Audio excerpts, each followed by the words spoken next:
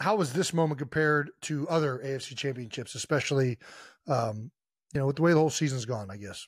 Man, I mean, it just, it, uh, obviously it just it feels like it's a little bit sweeter man uh, you know i i don't want to rip out anybody's heart in kc but uh, this road to where to where we are now has been more of a challenge which means you have to overcome more which means you it kind of means a little bit more and uh, although i cherish all the games that i play in arrowhead every single one of them baby this one meant a lot man because yeah. and it meant a lot because the guys we had and how we persevered through a lot of the uh, the things that we weren't you know we weren't doing during the season.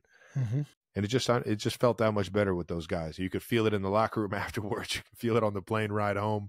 You know, typically if you win one at home, you just go straight from the from the field to your house or to the wherever your family is out off the field. This one we got to have an entire two hour flight to ourselves where it was just us partying on the freaking plane back home, man. and it was electric. It was awesome. We had the coaches coming back to where the players were and yep. just reminiscing on this season and, and enjoying every single bit of being around each other and what we had just accomplished um, yet again for uh, the second year straight. And we got a we got a special group, man, and uh, that's why that's why it spelled that's why this one feels that much better. Hundred percent, and it's it feels that way. It's been an awesome year, and um, you know, as we talked about after the the game, it's just one more now.